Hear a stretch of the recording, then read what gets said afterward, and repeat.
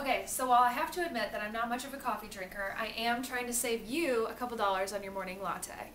While I am a big proponent of any type of coffee for anybody else who needs to wake up, right now I'm making it for my sister.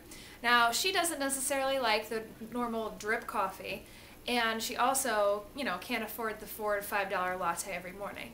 So our solution is an awesome French press, such as this.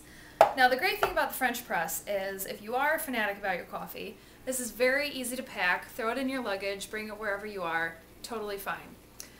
What you do is go to your local favorite place to get coffee, maybe some Seattle based coffee area, and ask the barista to grind your favorite blend to a French press blend. Now what you're going to do is it tells you one teaspoon or one tablespoon per six ounces. My sister, however, likes hers a little bit stronger, so we're going to go ahead and put three in. So go ahead and put your three heaping spoonfuls of coffee grinds, one, two, and three. And in the meantime, I have water boiling on the stove. Now once the water's all boiled and you're ready to go, all you do is pour it in. Here we go.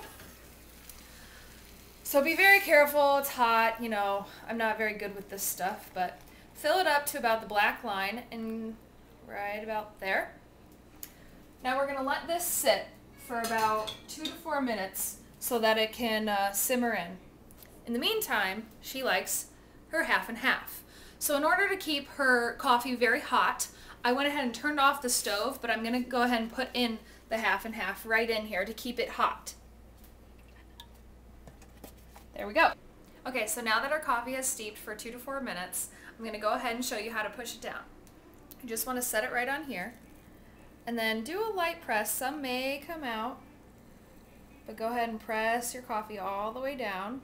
And what I'm doing is letting the coffee grinds go all the way down through that steam, or that uh, boiling water that we poured in, all the way down and then all you have to do is pour it into your cup that you have. I already put the sugar in there to my sister's likings. I'm going to go ahead and pour till about right there. Then we're going to add the half and half that I told you I already put on the stove um, to keep it warm so that it didn't um, lower the temperature of your of our coffee. So I'm going to go ahead and pour that right in.